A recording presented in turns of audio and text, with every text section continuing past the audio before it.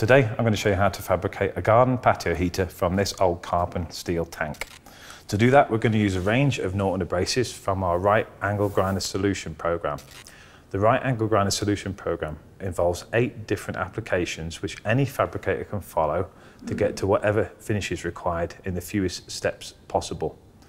Before we do that, we need to get on our safety gear. So our gloves, our glasses and our ear defenders. Once we do that, we're ready to go.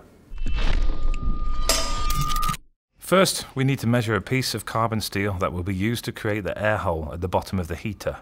To cut the steel to size, I'm using the Norton Quantum 3 1.6mm disc. The ceramic grain inside the disc gives a really fast, clean cut without bluing the metal. Here I'm using the carbon steel pipe to measure the right size for the air hole.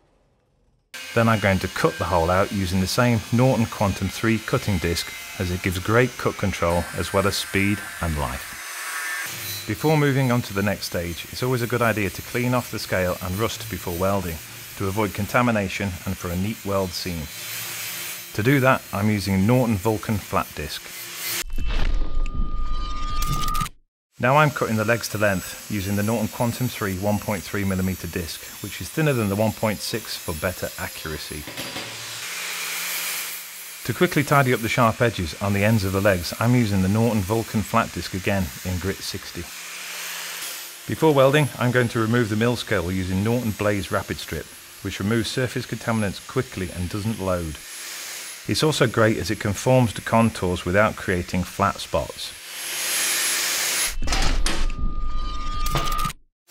Now I'm creating the air vent from thin sheet steel where I'll use the Norton Quantum 3 1.3mm cutting disc for greater accuracy.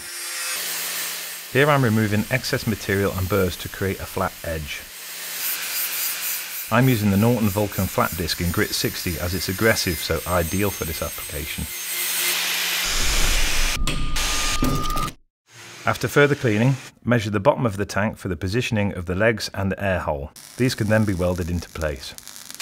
I'm now fabricating the handle for the vent using 8mm carbon steel dowel, which will be welded onto the vent and cut to length with the Norton Quantum 3 1.3mm cutting disc. As the legs are in place, I'm going to measure the position of the door, which I'm going to cut with the Norton Quantum 3 to make the hinge side. Prior to welding the hinges, I'm using the Norton Vortex Rapid Blend to clean up the area the hinges are welded on before I cut out the rest of the door to ensure it remains in the correct position. The hinges are in place so I'm going to cut the rest of the door. To complete the door, I'm bending the carbon steel down to a 90 degree angle. After cutting, weld the dowel onto the latch plate and then directly onto the door to create the handle. For the chimney, I'm using the Norton Vulcan flap disc, again in grit 60, to tidy the pipe and remove excess stock and burrs.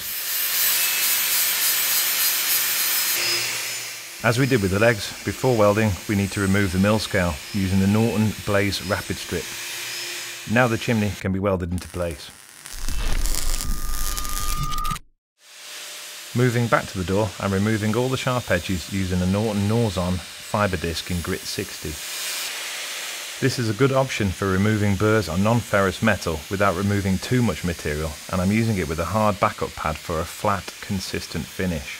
The flat contact area makes it easier to control and help generate the required angle.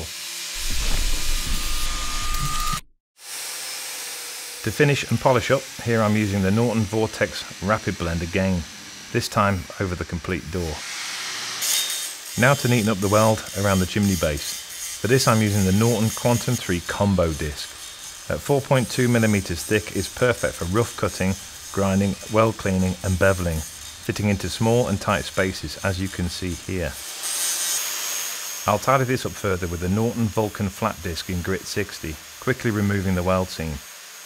Grit 60 can leave light finish lines which can be easily removed when blending and refining. Now to add the chimney lid. The final stage is blending and polishing the whole heater. For this I'm using Norton Vortex Rapid Blend, a really versatile disc which can remove sharp edges, blend deep scratches and clean welds whilst providing a uniform finish.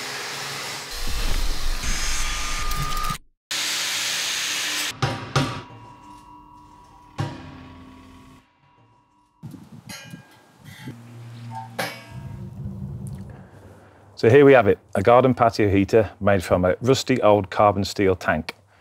With the Norton right angle grinder process, you can go from cutting, grinding, right through to finishing in as few steps as possible.